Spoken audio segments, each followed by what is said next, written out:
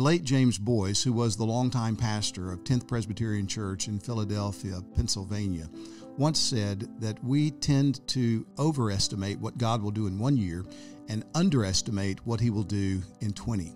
I was reminded of that recently as I paused to reflect on the fact that 40 years ago today was a significant day in my life personally and in the life of Founders Ministries.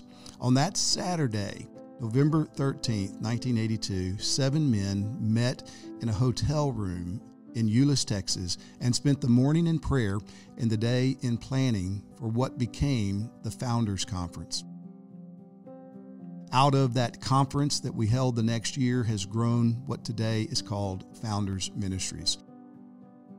The Lord has been so kind and good to us as we have worked in and through Founders Ministries to encourage the recovery of the biblical gospel and the reformation of local churches.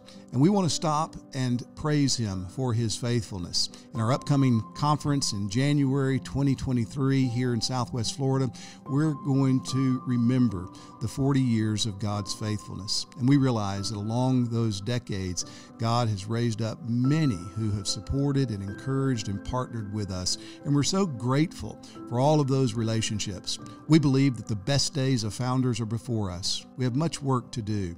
And so as we stop and praise Him for what He has done, we are praying that He will guide us even more faithfully, even more uh, zealously into the future as we seek to live for His honor and His glory.